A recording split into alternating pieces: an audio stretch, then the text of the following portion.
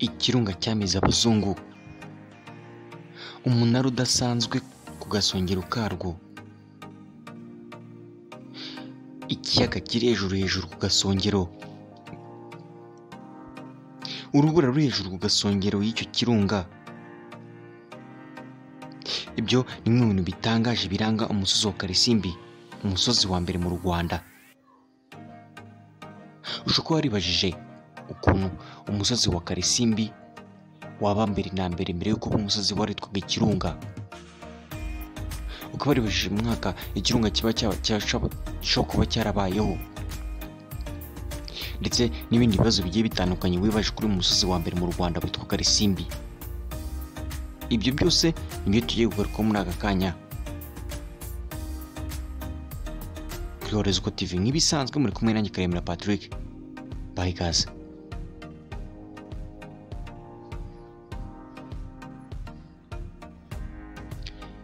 umusozi wa karisimbi. Ni umwe mu misozi miremire muri afurika ukaba ahantu nyaburanga u rwanda rufite hakurura abantu ba mukerarugendo binjiza amadovize baturutse hirya no hino imihanda yose yo ku isi. Bitewe n'uko uyu musozi wa karisimbi ufite ibintu byinshi cyane cyane ku musozi wahoze ari ikirunga ufite ibintu byinshi bidasanzwe n'amateka yihariye. Uretse kuba uyu musozi wa karisimbi. Weruka kuruka mbere y'ivuka rya yesu. Ni ikirunga cyahitanye abantu benshi cyane. Kikagira ikiyaga kigira ingano y'amazi ihoraho.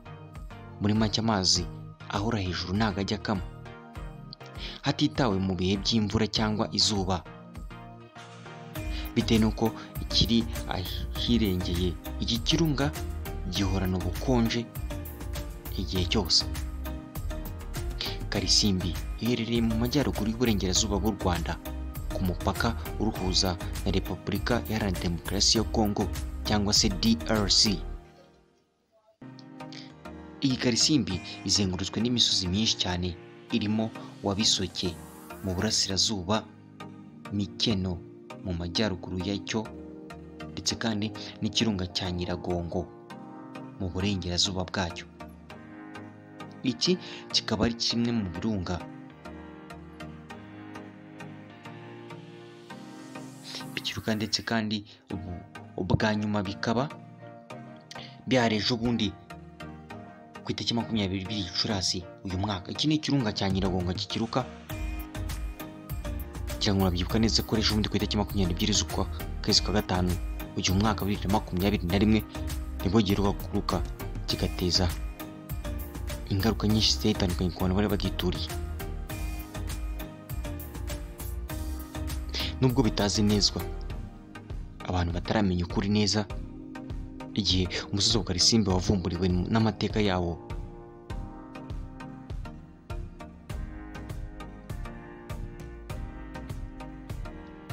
hari ibintu byinshi byihariye uyu musozi urangwaho byinshi bigiye bitandukanye. Tubibutsa ko mu gihe cy'abami uyu musozi hari byinshi bigiye bitandukanye wakorewe.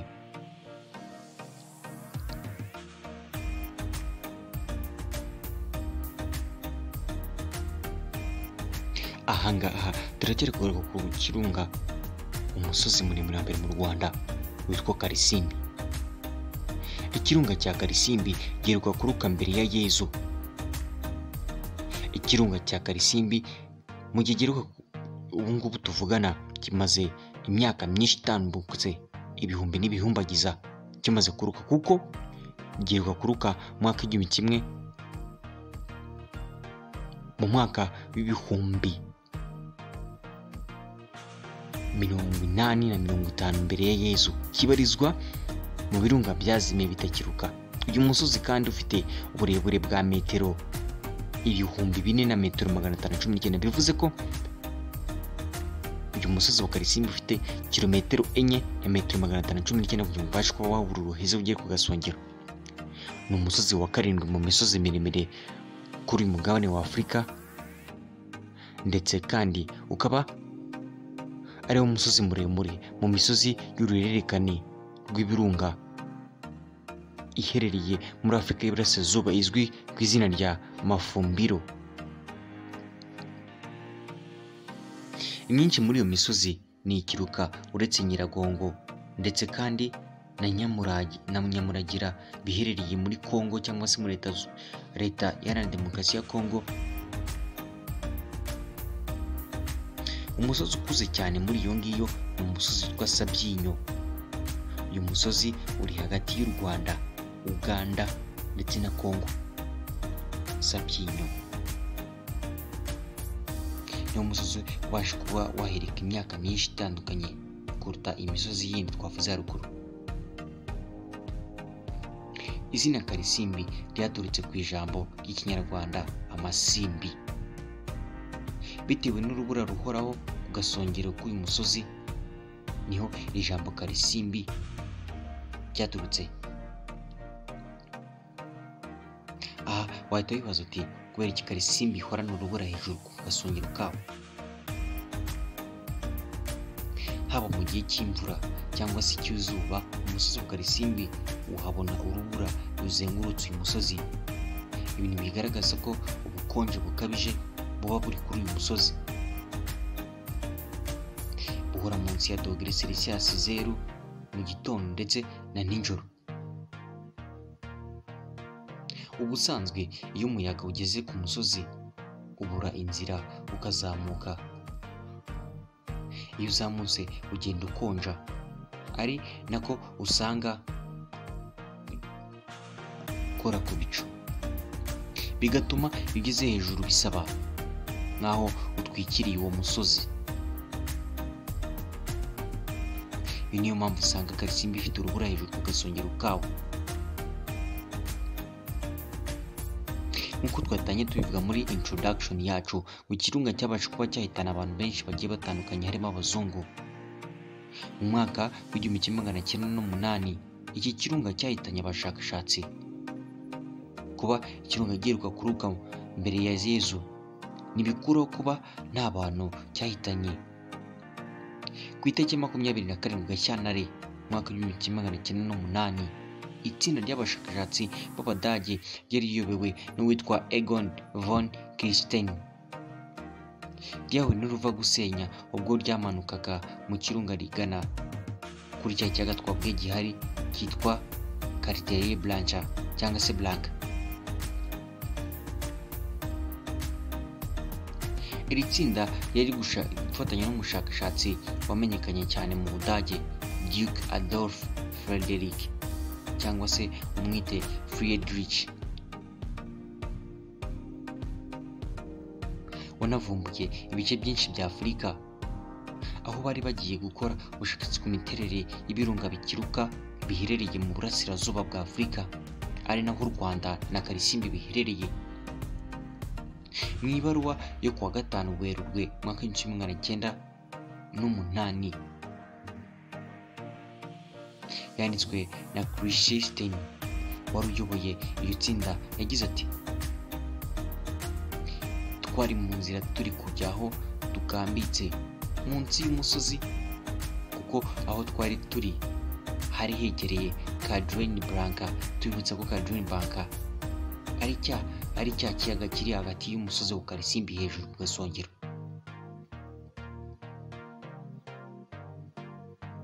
Byadusaba ngo nk'amasaha atatu kugira ngo tugereyo twafashe icyemezo cyo kujyayo ndetse tumanuke tujyemo. Bamanuke bajyemo imbere muri icyo kiyaga ngo barebe bakore ubushakashatsi kuri icyo kiyaga. Iyo ni imwe mu baruwa yari yanditse uyu mugabo wari uhagarariye itsinda ry'ubushakashatsi. Muri icyo kiyaga kandi ngo ntabwo hari harehare.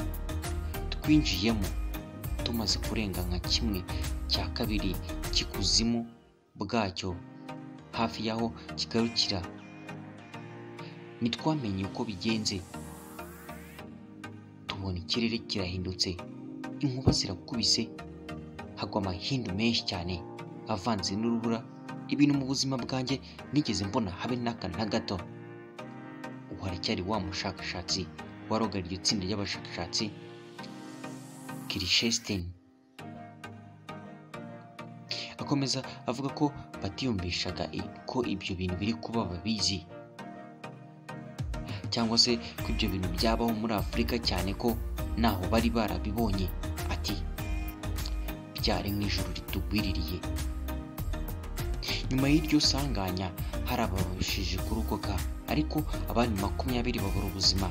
Yagize ati abantu makumyabiri bishwe n'urubura. Ndetse kandi intoki za benshi zafashe mu isayo ry'icyo kiyaga biragoye gusobanura ibyatubayeho cyangwa se ibyatubagaho. Ubu ni wa mushakashatsi.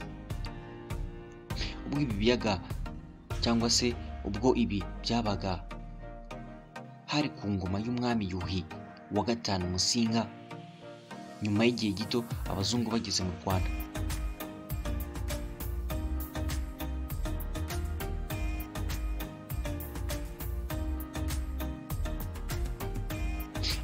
Wahita wibaza uti ese kiriya kiyaga kiri ku hejuru cyane cyane ku gasongero k'umusozi muremure mu rwanda bita karisimbi kirakama cyangwa se kijya kiyongera? Ibi ntabwo ariko bimeze. Iki kirunga cyangwa se iki kiyaga kiri ku gasongero k'umusozi muremure mu rwanda bitwa karisimbi ntikijya gikama cyangwa ngo kiyongere. Karisimbi igizwe n'ibyobo byinshi byagiye bikorwa ubwo ikirunga cyarukaga. Icyobo kinini muri cyo muri ibyo ni iki? Cyiswe kadreni blanca. Kirimo amazi atajya akama cyangwa ngo yiyongere nubwo hava izuba cyangwa hakagwa imvura nyinshi. Ibi byemezwa n'abaturiye iki kiyaga ndetse bavuga ko gifitanye isano n'imyizerere gakondo y'abanyarwanda cyane. Ko kiswe mu ntango. Akaba ari intango bitirira ryangombe umwe mu baturage baganiriye na RBA cyangwa se Rwanda Broadcasting Agency ubwo umunyamakuru wayo yasuraga iki kirunga mu mwaka w'ibihumbi bibiri na cumi na gatandatu. Yagize ati icyo tuzi rero ni uko batubwira ko iyi ntango mubona hasi harimo amazi ko aya mazi afite ihuriro n'ikiyaga cya Kivu. Impamvu bavuga ibyo bintu rero murabona uyu musozi uturukamo amazi menshi aza muri iyi ntango. Ariko mu gihe cy'imvura aya mazi ntabwo ajya yongera no mu gihe cy'izuba ntabwo ashobora kugabanuka.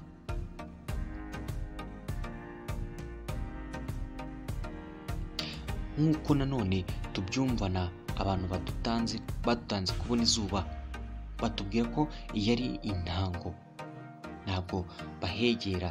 Iyi ntango ya ryangombe uyu musozi kandi ufite byinshi biteye amatsiko. Niyo mpamvu uzamukwa n'abatari bake bibavunnye ariko bakemeza kujya kureba ibyiza biwutatse no gucagayika kuzamuka metero magana ane.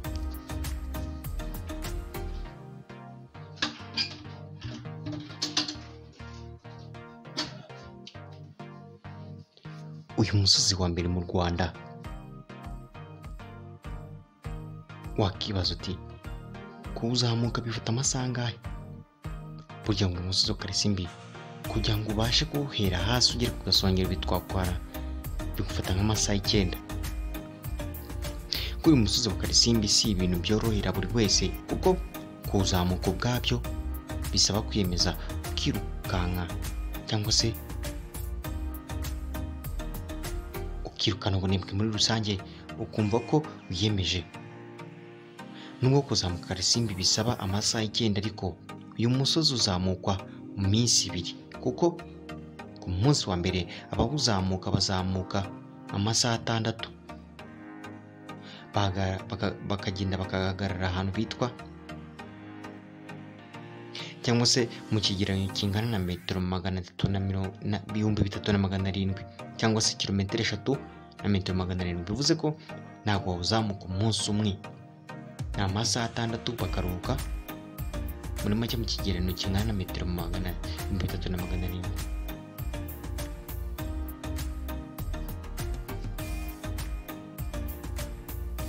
Maze bakarara. Aho ubundi bagakomeza urugendo ku munsi ukurikirana bagana ku gasongero ka karisimbi. Iyo umuntu ahagaze ku gasongero k'uyu musozi muremure mu rwanda aba yitegeye bya birunga bikikije karisimbi harimo nyiragongo. Yo muri congo iheruka kuruka mu cyumweru gishize. Uretse ibyo kuri aka gasongero haba hari amabuye y'amakoro aba yaratewe n'iruka ry'ikirunga. Igihe cy'imvura si igihe cyiza cyo kuzamuka uyu musozi kubera ibyondo n'ubukonje bwinshi bishobora kubangamira urugendo.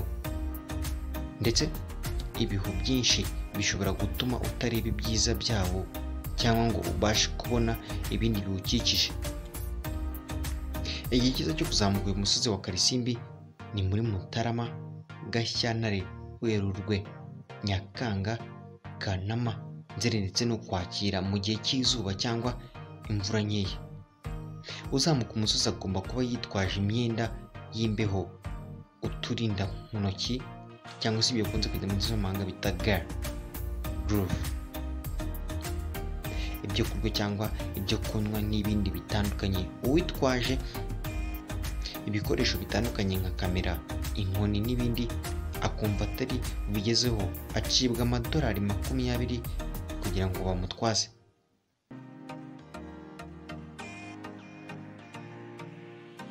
Nk'uko kandi twari twabibabwiye mu ntangiriro. Twari twabwiye ko uyu musozi wa karisimbi hejuru hejuru ku gasongero wubatseho umunara wa metero mirongo ine. Uyu munara wa metero mirongo ine wubatse hejuru kuri karisimbi watangiye kubakwa mu mwaka w'ibihumbi bibiri n'icyenda ugamije kujya ufasha abawuturiye kumva radiyo koroshya itumanaho ndetse no gukoresha ibikoresho by'ikoranabuhanga bitandukanye.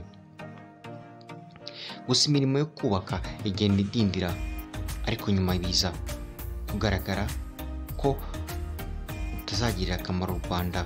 Gusa ahubwo uzanafasha ibihugu birimo mu muryango w'ibihugu bya afurika yo hagati y'uburasirazuba wa mesa bituma ibikorwa byo kubaka bishyirwamo ingufu mu kwihutisha iterambere. Mu mwaka w'ibihumbi bibiri na cumi na rimwe ni bwo banki nyafurika itsura amajyambere bard. Yahaye inkunga komesa ingana na miliyoni umunani na miliyoni n'ibihumbi magana atanu za amerika. Arenga hagati miliyari umunani ndetse na miliyoni magana ane y'amafaranga y'u rwanda. Yo kurangiza kubaka uyu munara kuko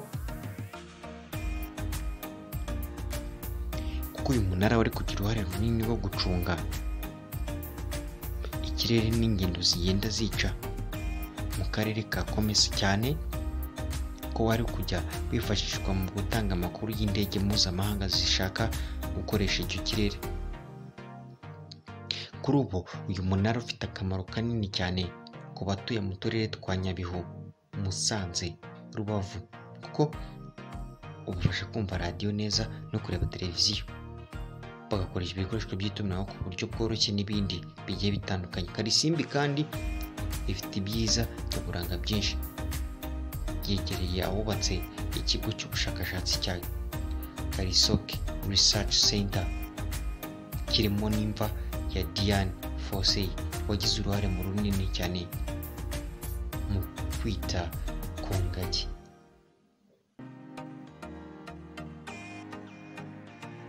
Turacyavuga kuri karisimbi.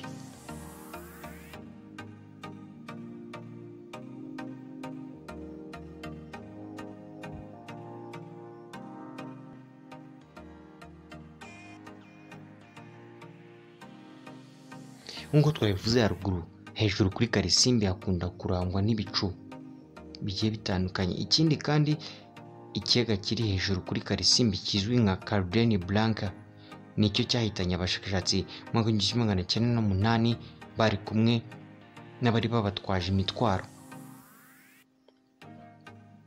Karisimbi twavuze ko ifite metero ibihumbi bine na metero magana atanu cumi n'icyenda ikaba ibarirwa mu birunga bitakiruka. Karisimbi kandi ikijwe n'ibindi birunga birimo Nyiragongo iherutse kuruka muri kongo ejo bundi ahangaha Karisimbi kandi ni umusozi muremure mu misozi yo mu birunga.